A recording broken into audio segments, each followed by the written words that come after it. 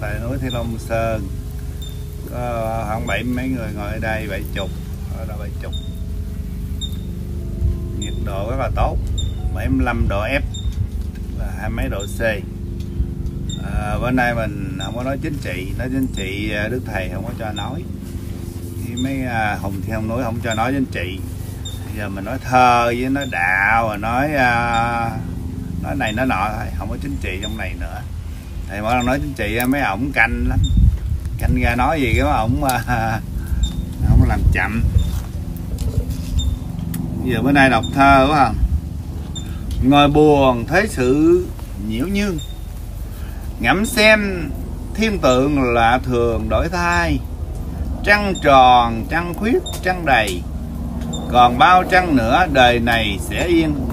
Ngày nay thế giới đảo điên chờ, mong chờ ngày hội phật tiên mây rồng. Chừng nào sóc dậy biển đông, chim hiền bổ cánh, luống trong tìm về. Hiền tài khắp chợ cùng quê, đón chúa trở về cho thỏa nhớ mong. Dựng xây cơ nghiệp cha ông, con cháu lạc hồng, vinh hiển hoang ca. Cho đời hết quỷ hết ma cho chốn ta bà, no đủ an yên. Việt Nam dòng giống rồng tiên, ai ơi chim hiền, gán chí góp công. Bởi cùng nguồn gốc lạc long, bách gia trăm họ đượm nồng tình thương. Nay vì con cháu mai dương, vào chốn phật đường giả bậc chân tu. Con thiên trong dạ sầu u thế gian như chốn ngục tù sát thân. Con chiên, người cứ lăn lăn amen lại chúa chúa gần không hay. Con phật thì cứ lây hoay. Đua chen nhốn nháo. Vì thầy đẹp trai. Hay nhờ thầy quà đẹp trai đó. Hay quá. Thánh nhân lòng dạ thẳng ngay. Khuyên bảo nói hoài mà chẳng ai nghe lời này không có màu mè. A la thánh chúa, danh xưng tùy thời. Linh hồn, một vị mà thôi. Vua kiệt con trời chẳng dám nói ngoa. Dân du khắp nẻo gần xa, cờ hoa chốn ấy là nhà tạm dung, ngồi buồn học chữ các hung trạng trình thở trước. Ráng tri sấm truyền. Ngài là tông tổ họ thiên. Ai ơi, giữ lấy thiện duyên kiếp này. Chờ ngài đến hội rồng mây, xem phật, xem thầy có mà hay không. Dám u đàm hoa nở trắng trong, chờ long hoa hội đón ông vua về. Thế gian nay quá thảm thê. Binh đao nước lửa ê trời. Thầy phơi, còn thêm đói rách tả tơi. Ấy vậy, người đời lại cứ làm ngơ. Lo tiền, lo bạc, lo vơ. Cho đầy túi thủng, cho trơ xác hồn. Có người cùng một cội chung. Á Âu phi Mỹ, phước duyên phân rầy ở hiền hưởng cảnh bồng lai, hết phước cũng phải đầu thai xuống trần. Có phước ở nhà cao tầng, vô phước thì phải dần dần sang phi. Ba, năm, ba kiếp nữa đến kỳ, mình mang lông lá đội sừng than chi. Lúc mang thân ấy đạo gì? Sau nay phân biệt khinh khi đạo người đạo nào cũng tốt, cũng tươi, thờ cha kính mẹ, đạo trời càng khôn. Mỗi người đều có linh hồn, thuận thiên mới được giả tồn chẳng sai. Việt nam cùng một bào thai, da vàng máu đỏ, phân hai làm gì? Kẻ đi người ở phân ly, quốc nội quốc ngoại cũng thì cháu con. Quê cha đất mẹ gầy mòn đồng khô nước cạn. Nuôi con bằng gì? Ai ơi, hãy cố gắng tri. Cho tường gốc tích khắc ghi vào lòng. Làm người có tổ, có tông.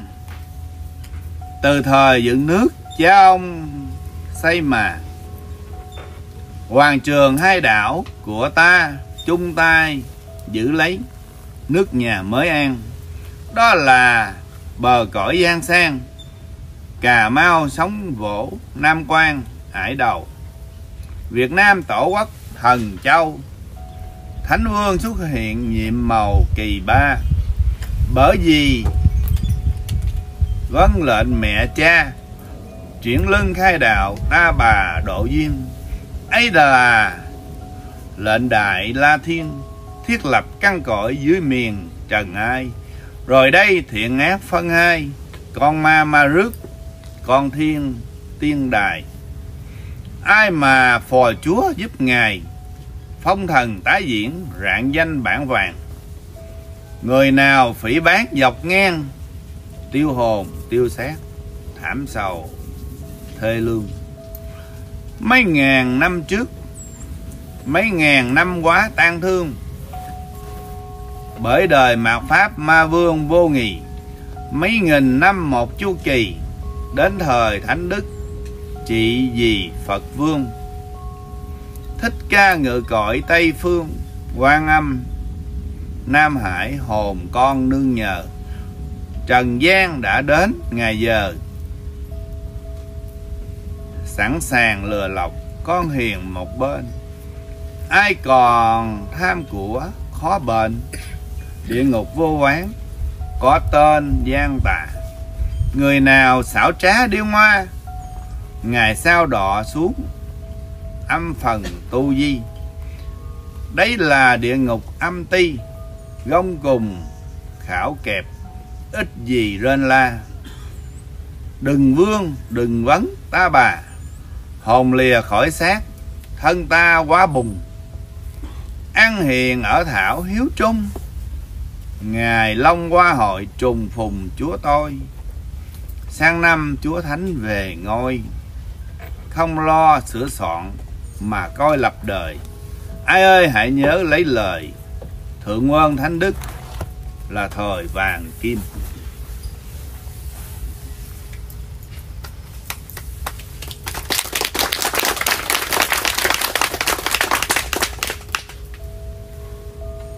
Ngày long qua hội trùng phùng chúa tội. Ngày long qua hội á, là năm tới.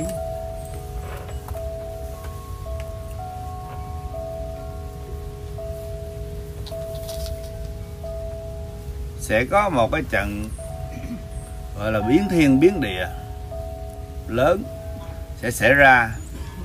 Chứ không có biết tính tháng nha. Mà nó tính tuần ngày đi có thể xảy ra bất kỳ lúc nào khắp hoàn cầu.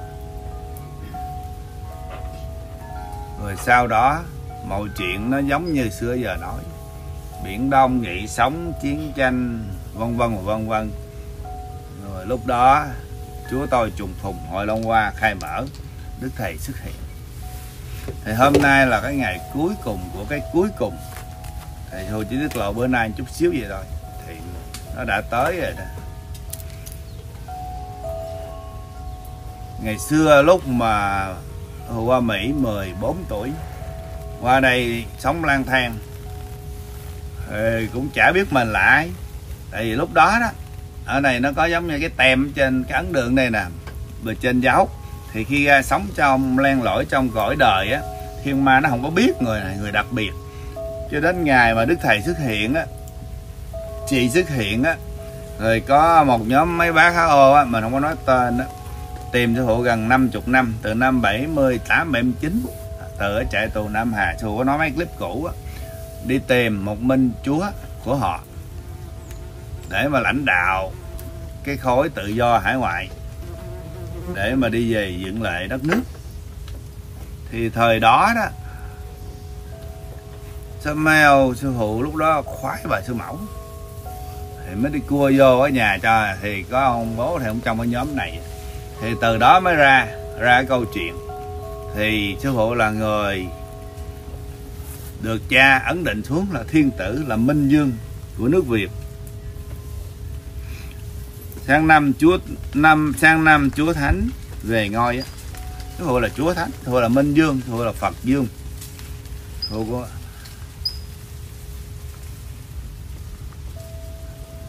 mà là người duy nhất của quả địa cầu này, con của trời hạ sanh. Con trời không bao giờ làm sai, chỉ có chúng sanh làm sai thôi. Nên nhớ,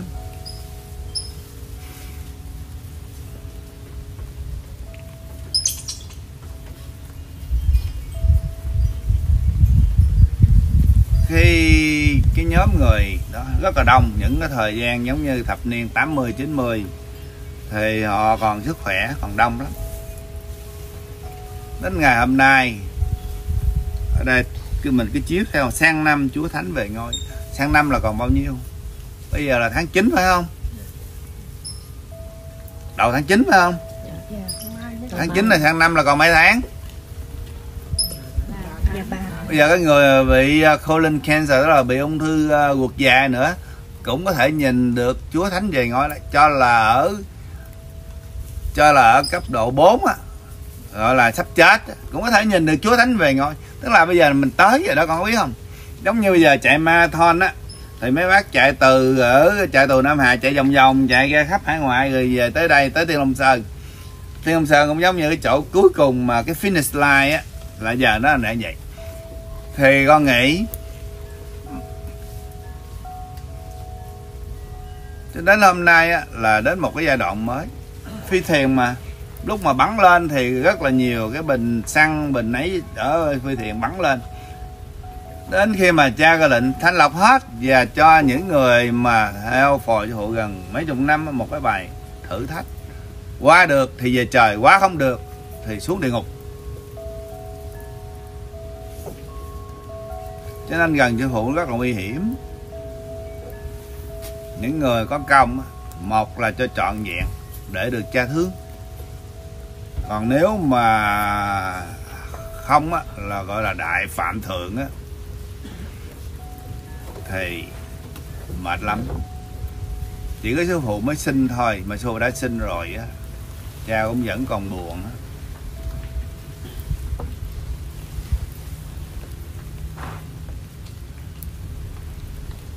Khi phi thuyền lên quỹ đạo con nghĩ mấy cái bình xăng mấy cái bình nguyên liệu mình có cần không vậy? Thì nó phải tách ra. Còn những cái khúc đuôi của chiếc phi thuyền để mà giúp phi thuyền cũng có cần không vậy? Cũng không cần luôn nó chỉ có cái bồn lái thôi. Trên đó chỉ có một số người duy nhất. Đó là ba người lỗi lạc nhất thế gian này. Con trời. Hello uh, tử không mới quà. Ồ mấy đứa chẳng biết đâu. Nghe gì mà sao qua đây kỳ này đông thì sư phụ là duy nhất là đã được hội đồng chư Phật trên trời ấn chứng là chuyển lưng thánh dương. Và trong kinh Phật có nói cách đây cả cả nghìn năm rồi. Và đồng thời, sư phụ là một đứa con ở trên trời gọi sư phụ là khôi ngô tuấn tú. Bi trí dũng đầy đủ. Sư phụ trên trời khoảng chừng 12 tuổi chỉ có sát phàm á, nó hoàn toàn nó không có giống như là có nguyên thần của sư phụ. Nguyên thần sư phụ rất là oai dũng, có võ công có ờ, thần thông biến hóa rất là lợi hại. Lúc nào cũng mặc áo vua long bào hết, tại trong cõi vô vi thiên nhãn là vua rồi đó, vua của nước việt rồi. Tại dưới đền vàng núi cấm á, có cái cung điện của hiêm á. Cho nên mỗi lần sư phụ nói chuyện kêu hiêm về đó, là hi, rất là không có vui nó ta bận còn những người thì rảnh thì cứ học làm ờ, đủ phong cách làm vua đi. Tức là cái hồn nó chuyện cái nguyên thần vô nó chuyện vậy. Thì đó là thái tử thiên nhãn là tên trên trời. Còn tên của ngoài đời của của các phàm sư phụ chỉ có khoảng 3 tới 5 phần trăm cái trí thông minh của hiêm thôi. 7, 8, 90 phần trăm là Hy vẫn còn nắm. Hy muốn cho sư phụ khôn nhiêu thì Hy cho thì muốn uh, thù làm gì thì thù làm Tại vì hai là một, một là hai. Đó là người thứ nhất đó. Rồi Hy đi về thiên đình Hy đi xuống địa ngục Hy đi những hành tinh khác trong tích tắc à. Rất là thần thông biến quá Và Hy cũng là đã, hy thì tiếng việt nam nó không hiểu ta. Thiên nhãn thì nguyên thần đi. Cũng có uh, thiên nhãn cũng nói chuyện với mấy con nhiều lần mà mấy đứa gần đây nè. Thì cũng có dạy đúng không? Ồ những cái đứa đệ tử mà còn lại hôm nay à, với sáu phàm của ta thì những đứa đệ tử này sau này về trời sẽ là bạn của ta sẽ vui sướng với ta. Bạn có nghĩa là gì? Thật sự sư phụ xuống trần mang sáu phàm chỉ là người truyền tin của thượng đế. Để đây đi một chút lo. Cứ để đây đi rồi đi đi lên được. lượt cứ gom lại chỗ này đi rồi lên đây ngồi.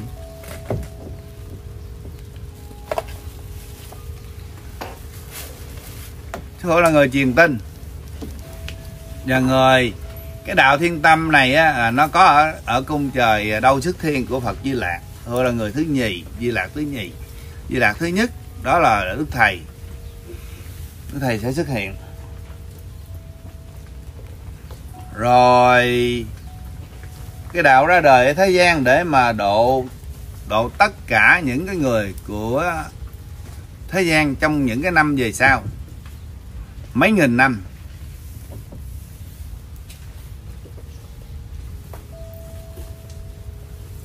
Người thứ hai đó là sư mẫu con của ông long dương đúng không? Khi con của ông long dương á, lên thì cái nhiệm vụ là gì? Chỉ có nhiệm vụ là sanh ra con rồng cháu tiên nó trở về thời lạc long quân âu cơ vậy đó. Thì bây giờ đã ra rồi. Đến một khúc á, chạy marathon người nào tới khúc nào để mà à, phò thiên tử thì bổn phận của sư mẫu long dương cũng đã xong. Xong thì phải về long cung trở lại. Đến một khúc đoạn mà phân nửa bài kính thiên đó rồi đây nắm giữ giang sen á tức là nửa đời nửa đạo á thì đến lúc công chúa Thương Bình phải xuất hiện. Xuất hiện một cách rất là đúng đúng lúc đúng khớp. Thì ba người thượng đế đã phong xuống và đã ấn chuẩn ấn uh, ân chuẩn. Không có là phải sát cánh với nhau lo cho chúng sanh. Không có chấp tướng và không có uh, có theo đời không có theo mặt đời. Mấy con nên nhớ vậy đó. Không được chấp tướng không theo mặt đời. Chỉ có lòng từ bi thương chúng sanh. Thiên nhãn dạy cha dạy long dương dạy à, ngọc thiên đại đế dạy sư phụ đã ngộ rồi thì sư phụ thương nước việt. Thượng bình cũng đã ngộ tức là sắc phàm là mai thảo cũng đã ngộ thì cũng là thương nước việt cũng lo nước việt. Cho nên mới à, thời là à, suốt đời á theo phò minh dương là vậy. Sư mẫu cũng vậy nhưng mà vì sư mẫu có con mà phải đưa đi học rồi phải lo này lo kia lo đời lo một cái payroll của cái hãng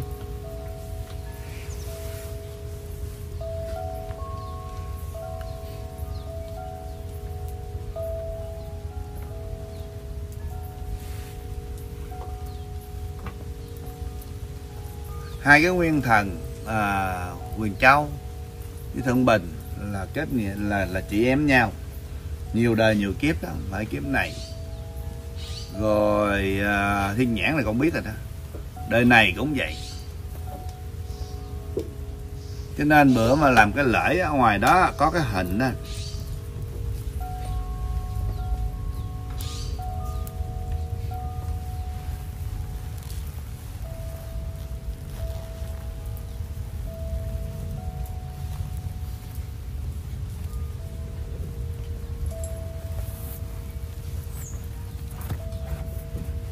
thấy hai người, kết nghĩa chị em đúng không? Mà ba bốn năm nay, mấy cái đứa đại tử mà nó theo à, thầy pháp á, nó là chống đối. Có nghĩa là gì? Người nào mà xúc phạm với thượng bình, có nghĩa là xúc phạm với ông trời đó, với cha đó. Huống chi họ đã không có cha ra gì để dục hình tượng cha mẹ một bên. Nhất là con trương khanh đó nó bị chúng tà rất là nặng. Cho nên mấy vị nói nhỏ này sẽ tiêu sát, tiêu hồn mấy thù nói thiệt á. Thù sinh rồi, mẹ cũng không có chịu. Và những xích long thù cũng sinh cũng không được, nó vậy là cái linh hồn sẽ mất mãi mãi không phải hù đâu. Còn cái chuyện trời phật hay là cha tính, đứa nào không thích thì cứ gán tu cho giỏi về trên trời hỏi trà. Còn sư phụ ở dưới trần, sư phụ chả biết gì hết. Cứ làm theo lệnh của trà thôi, mấy con nên nhớ nha. Không phải sư phụ mang người này tới bên cạnh sư phụ đâu, mà trên đó. Từ ngày đầu á, mẹ là người mang mai thảo, tức là thượng bình, về núi. Chỉ đường về. Mai thảo có thần thông để mà phò giúp. Tại vì chúng ta là những làm đạo, thì chúng ta sẽ điều hành một quốc gia lớn thế giờ mấy à, bác có bệnh là ai? Thì nếu mà thường không có thần thông, mọi muội không có thần thông thì làm sao có thể biết ở trong này có người nào như thế nào, đúng không? Rồi mới qua quyến xuyến được cả cái núi và cả một cái à, thế giới này. Thì mỗi người làm mỗi việc, chú mẫu làm một việc. Hạnh thảo làm một việc, mai thảo làm một việc.